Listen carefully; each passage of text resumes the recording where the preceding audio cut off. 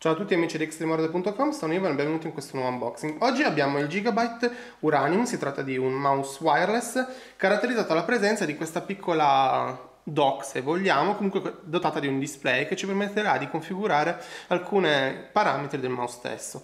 La confezione è molto molto grossa, circa, se potete apprezzare tra il video, sarà almeno due o tre volte quasi un mouse normale. Vede nella parte frontale il raffigurato il mouse, il modello, è sotto il mio dito, è il simbolo della tavola periodica dell'uranio. Nella parte destra abbiamo alcune informazioni tecniche, come possiamo vedere si tratta di un mouse lag free con USB polling rate 1000 Hz che non è scontato con un mouse wireless. Nella parte posteriore c'è raffigurato parte, diciamo centralmente appunto il display che ci permetterà di controllare i profili e come vedete alcune impostazioni ad esempio della risoluzione del sensore polling rate e via dicendo. Abbiamo 10 pulsanti programmabili, scroll a 4 direzioni e la possibilità di cambiare il volo, ovviamente la risoluzione del mouse.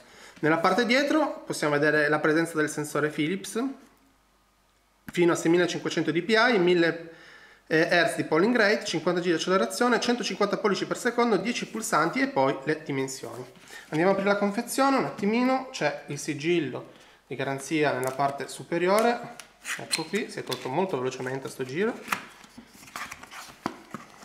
per chi ha visto già gli altri unboxing, possiamo dire, se riusciamo a tirare fuori ovviamente la scatola, che apparentemente la confezione è molto simile a quella già vista in passato. Eccola qui. Infatti, se vi ricordate l'unboxing degli altri mouse, abbiamo spesso trovato le scatolette nere all'interno della confezione imbottita con della spugna anti-urto ed ecco qua il prodotto, il prodotto scusate, contenuto.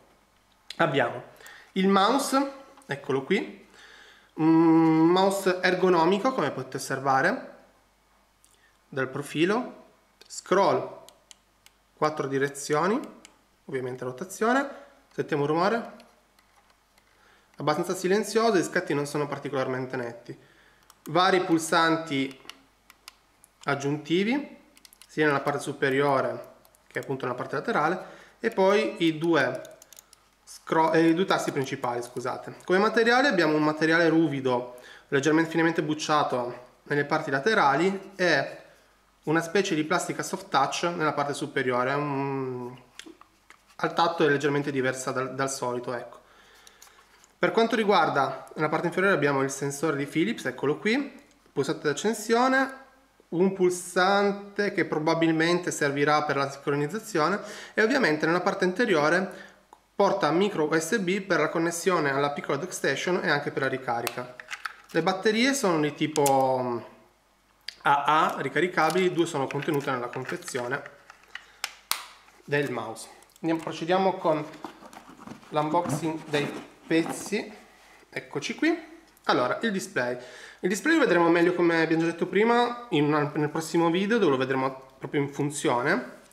In ogni caso c'è questa parte, ok, siamo usciti due connettori USB placcati oro, uno è per la ricarica come potete vedere qua dal simbolo del mouse, mentre l'altro invece è quello che connette il display al computer e ne permette il funzionamento.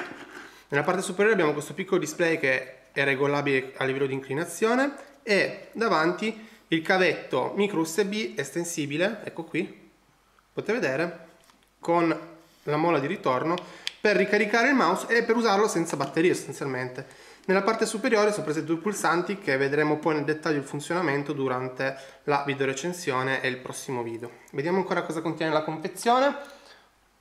C'è qua un piccolo box. Eccoci qui. Abbiamo Guida introduttiva per l'utilizzo del mouse come sempre, quindi informazioni d'uso e configurazione.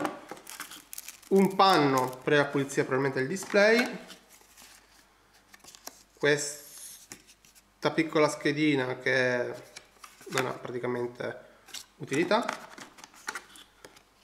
Un'altra schedina per la registrazione, avere altre probabilmente funzioni sul forum di eh, Aivia, o come si pronuncia, mousefit di ricambio per il mouse e poi ovviamente le due pile ricaricabili tradizionali che andremo poi a installare nella parte inferiore del mouse. Per quanto riguarda um, il um, Gigabyte Uranium abbiamo detto tutto quanto, rivediamo ancora un attimino il mouse. Vedremo nel corso della recensione e del prossimo video maggiori informazioni per quanto riguarda il mouse e per quanto riguarda soprattutto la piccola dockstation configurabile che è diciamo l'aspetto caratteristico e particolare di questo prodotto. Continuate quindi a seguirci, un saluto a parte dello staff di extremehardware.com.